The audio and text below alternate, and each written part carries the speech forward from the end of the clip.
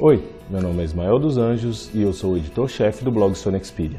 Hoje eu estou aqui para mostrar para vocês o novo smartphone da Sony Mobile no Brasil, o Xperia L.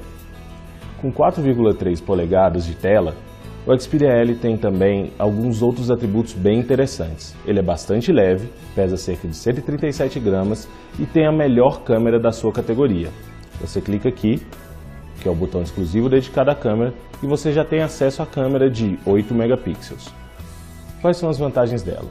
Ela tem sensor Exmor e STM e a capacidade de gravar vídeos e tirar fotos em HDR. Isso quer dizer que mesmo em situações de baixa luz, como numa praia, por exemplo, você consegue ter fotos e vídeos com bastante definição.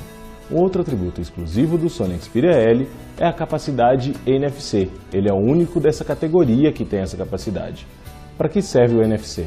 Com ele, você pode transferir seus arquivos, de foto e vídeo, por exemplo, para outros aparelhos da linha Sony.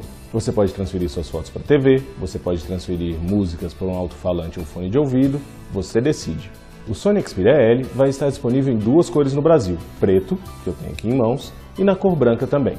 Ele tem Android 4.1, mas é atualizável para o Android 4.2 e processador de 1 GHz, o que garante uma navegação bem rápida no aparelho. Uma coisa bem interessante do design do Sony Xperia L são as costas dele. Ela é toda em arco, o que garante um jeito mais tranquilo de pegar no smartphone. Facilita bastante sua vida. Uma outra coisa que é importante salientar, a bateria do smartphone tem modo estamina, exclusivo da Sony.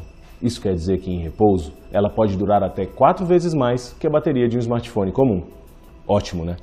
Bom, espero que você tenha gostado do Sony Xperia L e que você possa ter um em suas mãos em breve. Até mais!